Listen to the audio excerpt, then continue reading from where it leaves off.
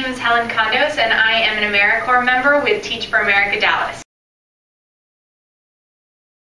In my service, I work with underprivileged children teaching pre-calculus and calculus with the aim of getting them to, to and through college. I joined AmeriCorps because where you're from should not limit where you go in this country.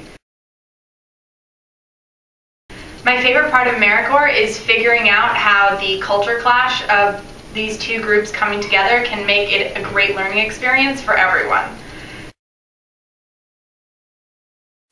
My reason for continuing to serve in AmeriCorps is a girl named Angeles. Angeles was one of my students. She was a junior in high school. She was taking pre-calculus with me, and it was the last class that she was failing.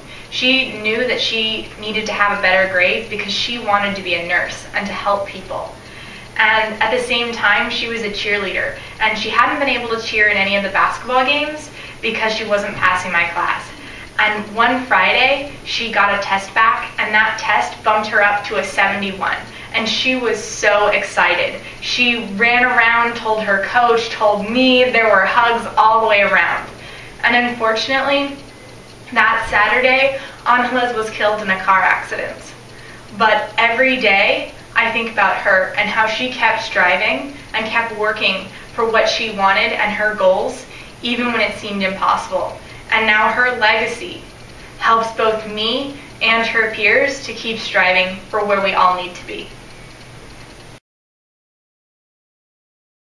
And AmeriCorps works because it creates leaders who have a passion to improve America.